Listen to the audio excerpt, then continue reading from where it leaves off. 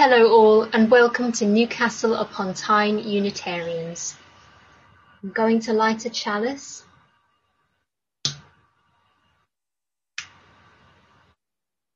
On the 14th of March 2021, Margaret Robinson of Stockton Unitarians led our Mothering Sunday service. Please enjoy this excerpt from the gathering, which includes a prayer entitled For All Who Mother by Unitarian Universalist minister Victoria Weinstein, our own thoughts, memories, and photographs of our mothers, grandmothers, and people who have mothered us. And finally, a reading entitled My Many Mothers by another Unitarian Universalist minister, Vanessa Rush Southern. Happy Mother's Day. Well, good morning and a very warm welcome to this Mother Mothering Sunday service from Newcastle Unitarian Church. I'm Margaret Robinson from the Stockton congregation. I'm going to light the chalice now.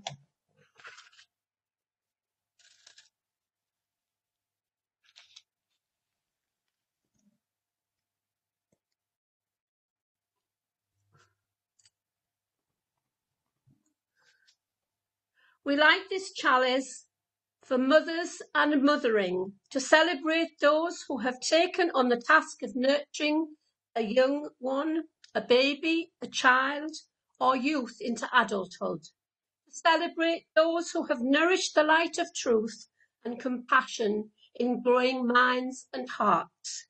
To celebrate those who have committed time, money, energy to the growth of in this world.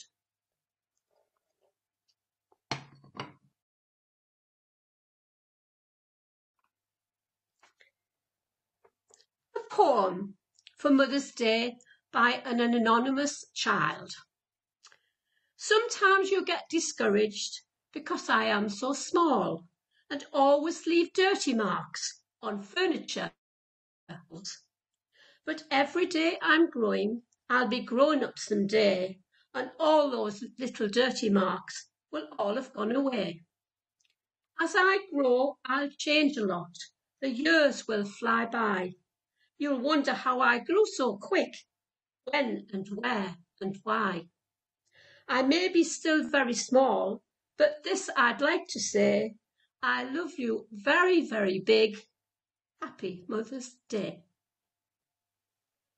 Now we reflect in thanksgiving this day for all those whose lives have nurtured ours, the life-giving ones who heal with their presence who listen in sympathy, who give wise advice, but only when asked for it.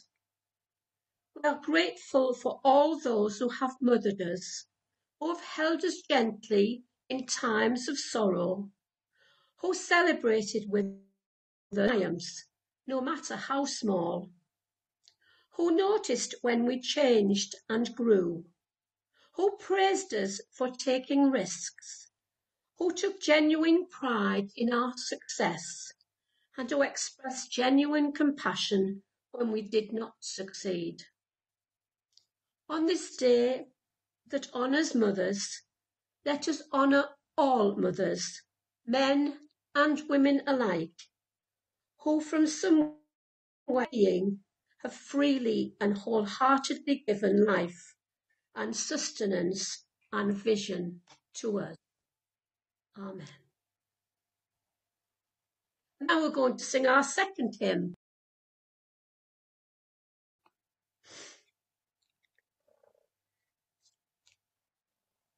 Mother's Day this year falls today, Sunday the 14th of March in the UK, with the date set by the celebrations Christian Foundations as Mothering Sunday. It always takes place on the fourth Sunday in the festival of Lent, exactly three weeks before Easter Sunday. In the 16th century, Mothering Sunday was less mothers and more about the church. Back then, people would make a journey to their mother church once a year. This might have been their home church, their nearest cathedral, or a major parish church in a bigger town. The service which took place symbolised the coming together of families. This would have represented a significant journey for many people. Another tradition was to allow those working in the fields on wealthy farms and estates in England to have the day off on the fourth Sunday of Lent to visit their mothers and possibly go to church too. This was a variation on the theme of visiting the Mother Church and was a move towards a more fast occasion. Before the days of cars and roads, people get-togethers were far more rare, rare, sorry, and FaceTime and Zoom were still a long, long way away. In some ways, this tradition is still alive today, as grown-up children often visit their parents on Mothering Sunday.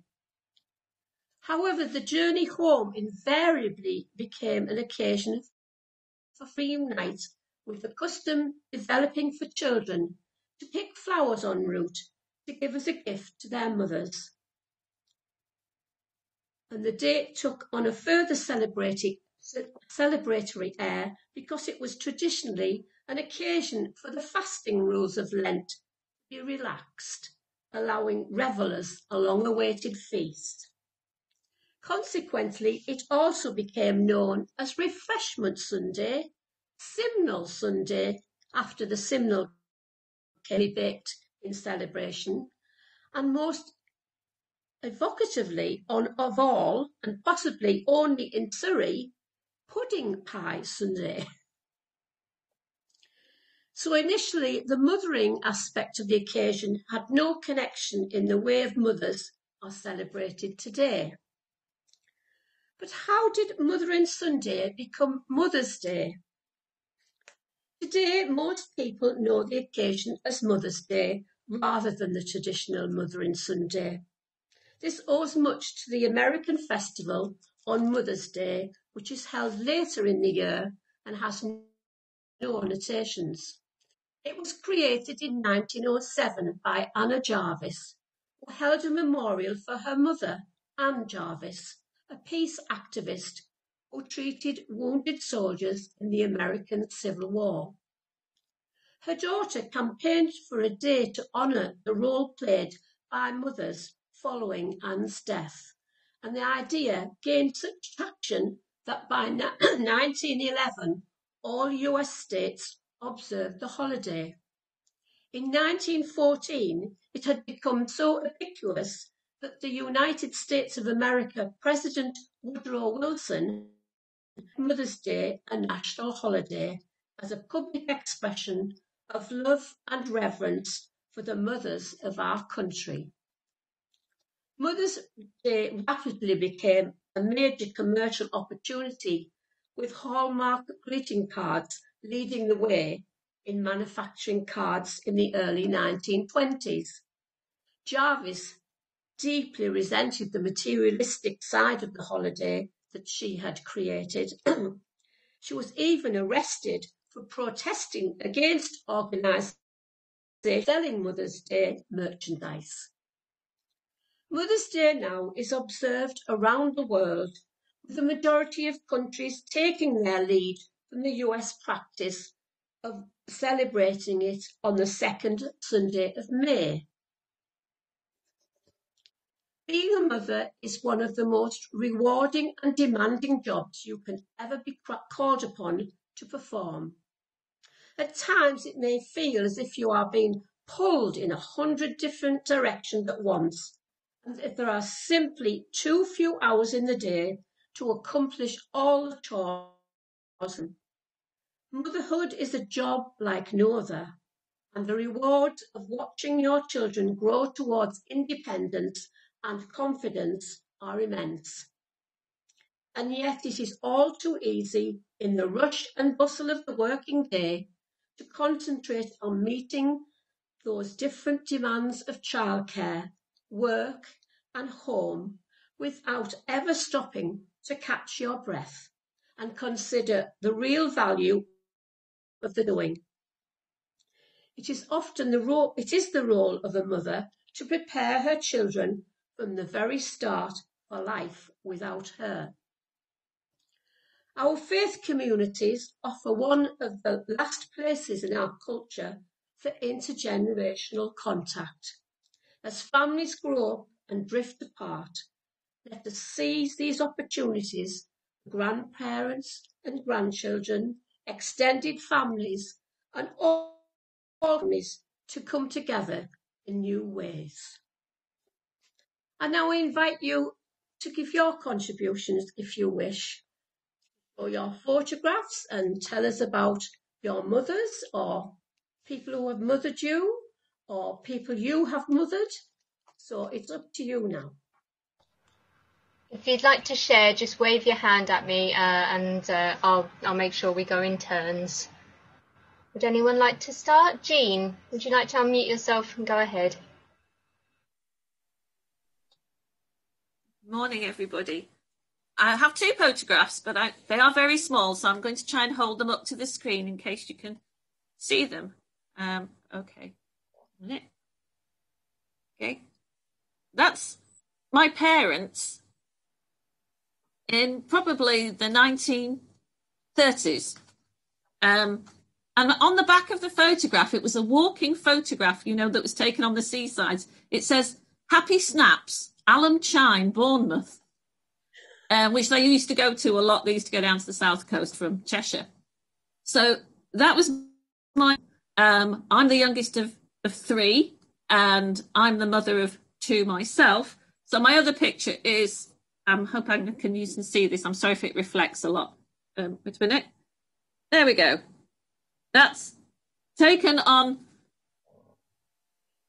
Michael's 21st birthday, and Louise would have been 27, 28. Yeah.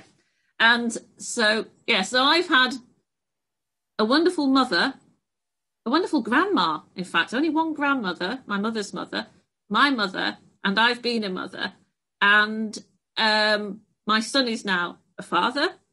So um, I think I'm truly blessed. Thank you very much, Jean. Thank you. Anybody else? Louise, do you want to go ahead? Not to make this all about the Reeve family, uh, but since my actual mother is here, I do have a picture of uh, the rest of our family which let's see if I can get that. Hopefully that's clear without too much of a reflection. Um, obviously you can see my own mum here, uh, who is with us, but you can also see the other Reeve mum. Uh, that's uh, the lady in the corner is my sister-in-law Becky, uh, and because mum has modestly uh, not mentioned. Well, mum has mentioned that she is in fact a mum and a grandma. Uh, so we have um, two Reeve mums there, and also a couple of Reeve dads, because it, mothering is a tough gig, and it's good to have a bit of support from dad uh, and all the all the people who support mothers. Thank you very much, Louise. Lovely. Anybody else? Stephen, do you want to unmute? Go ahead. Yes, um, I also have a slightly old photo, not as old as um, Jean's uh, first one. But of course, photos nowadays mainly tend to be digital, don't they? So, um, so this is probably about 20 years old. Um, my, my, mother's still alive. She's um, she's 96. So obviously, she's she's getting quite old now. Um, and so like like David's mother, she's actually in hospital at the moment because she's had. Um, so that's um, um, in a sense, that's quite difficult because we won't be able to, you know, we won't be able to see her because of the uh, the, the, restrictions on um, for Mother's Day. Um, uh, understandable, but but still, you know, difficult. And and I think, you know, finally, having been very healthy and uh, active, you know, really, really right into her nineties, um, she's now getting a little bit more frail, and and my brother and I having to help um, her uh, um, uh, her to, to, a significant extent. Um, but we do it extremely uh, gladly, I think, um, because um, you know, it's um, it's only very recently that the tables have turned, as it were, and it's us supporting her more than uh, more than she has supported us. Um, and I really, when I look back, I'm very grateful for that. I, and I remember as a, sorry if this is getting a bit rambling, I will get to the point. Um, I remember as a child, uh, um, poss- quite possibly on Mother's Day, um, pointing out to my mother that uh, there's a Mother's Day and there's a Father's Day. So um, why isn't there a Children's Day then? Um, and she said, um, she said, well, uh, all the other days of the year are children's days. uh, and I think that was that was right. Um, and I, I, you know, in her case, um, and um, I, I, particularly remember and I'm grateful for um, when I um, came down from university. I was um, I was really quite ill and not able to to work uh, for a couple of years. and I went, you know, went back home at a um, at an age when you know most um, uh, you know most parents can reasonably expect to their children to be self-supporting, and there was never any you know question but that she would you know help and support me. So uh, you know I am I am grateful for all that that I've had really for the whole of my life. So that's it.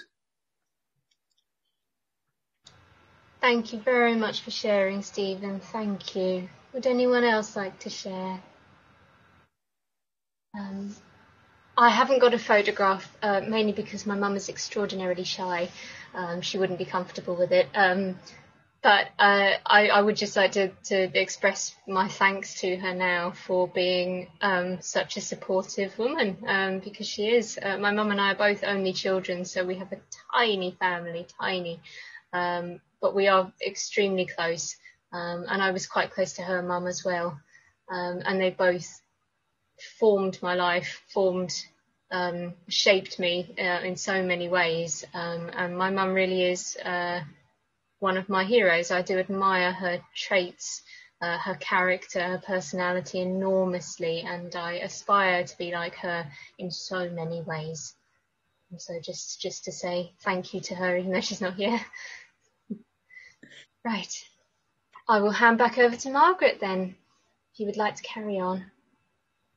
Well, thank you very much for all your contributions and very interesting to find out about each other's families. Uh, I'm mother of four and I have and I have seven grand seven grandchildren and one great grandchild. And I also had a wonderful mother and father. And uh, I had one grandma who was alive, still alive when I was born. Um, so uh, an ever increasing family.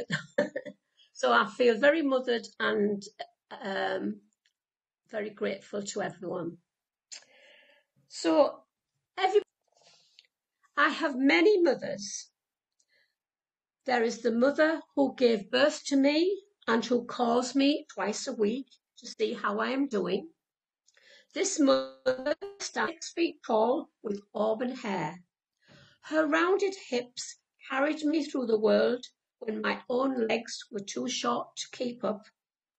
Looking at this woman is like seeing my own body telescoped through time. There is no ambiguity about what I will look like in 30 years' time. Her body gracefully leads the way. The older I get, the more like her I am. Gestures of her become mine almost without my permission. It is scary and funny at the same time. She and I are connected in ways that I only partly understand. I have another mother. She is the aunt who welcomed me every summer from the time I was eight onward. At first, I came for only a few weeks to her house in the country. However, by high school, I would arrive the day after school ended and leave the day before it started up again. Later, her home was where when my heart was broken and I needed a safe place to mend. She taught me that graciousness makes life a little easier and more beautiful. and that life's simpler pleasures can be sublime. Though I don't have the body of her or her gestures, she was, and is, no less a mother to me. Another mother is the aunt who took me in for six months when my family was in transition. In this aunt's world, life was a show and we were living on centre stage. In her company, I learned that each day can be quite grand. With a little extra effort and a dose of wild abandon, in the sense that she had loved me and shaped me. I am not her child too. There were others still. There was the woman who made my ordination stole for me. She embroidered it with a chalice, though she isn't a Unitarian Universalist, and butterflies as a symbol of the Holy Spirit, and sewed a secret pocket in the back my lipstick and tissues. This woman is an Episcopalian priest. She waited a long time nomination to recognise her right as a woman to be ordained. She reminds me of many things, not least of which is the privilege of ministry. She too has been a mother to me. At times, growing up, I used to wonder how my mother could share her birthing rights so easily, sending me willingly to this woman or that. You can never have too many mothers, my mother used to say. I'm beginning to see the wisdom of her words in the reflective light of the woman to whom she sent me. I was allowed to mould my vision of myself.